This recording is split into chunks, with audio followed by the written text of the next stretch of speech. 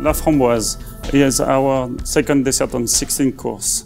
Uh, this is um, a mix with fresh berries, infused lillet, and also um, uh, ginger raspberry sorbet.